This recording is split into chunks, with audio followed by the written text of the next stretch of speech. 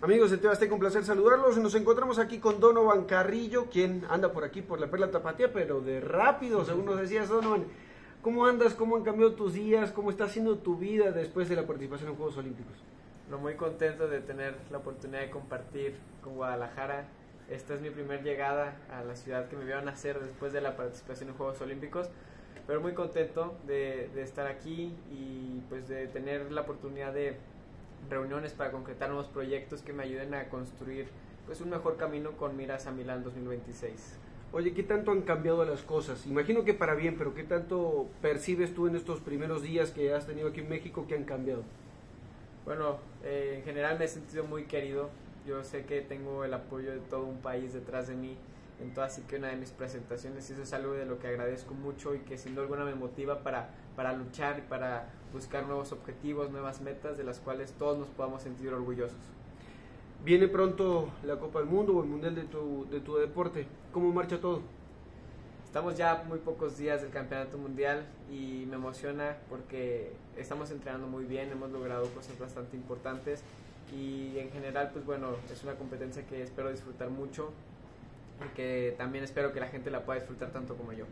En lo personal, ¿qué tanto ha cambiado tu perspectiva de ti mismo respecto ahora a afrontar una competencia de esta magnitud, ya habiendo probado Juegos Olímpicos? Bueno, la, la emoción yo creo que sigue siendo la misma. Eh, el escenario, por supuesto, pues bueno, Juegos Olímpicos es a lo que la mayoría de los deportistas aspiramos a llegar algún día.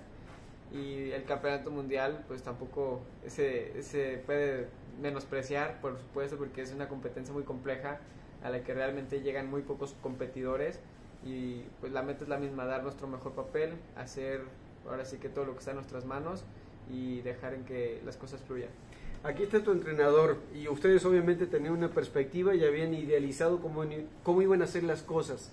Ahora que han podido percibir la reacción y la magnitud de tu presencia, de tu desempeño con la gente particularmente, que quizás antes ni pensaban en patinaje artístico sobre hielo y ahora no solamente hablan del deporte, sino de Donovan Carrillo. ¿Los tomó por sorpresa? ¿Fue más de lo que esperaban?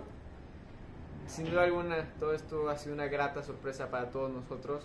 Uh, hemos vivido experiencias muy padres eh, por parte, de, por supuesto, de los medios, toda la difusión que han brindado y de corazón les agradezco.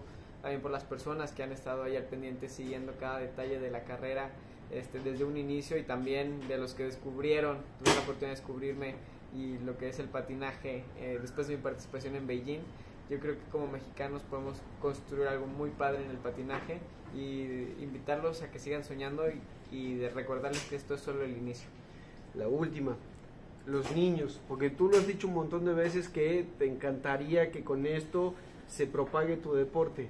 ¿A cuántos, si es que tuviste la oportunidad de coincidir con ellos, a cuántos ya les viste que le nació ese gustito por el deporte o que te lo hayan dicho directamente, sabes qué, quisiera hacer lo que tú haces?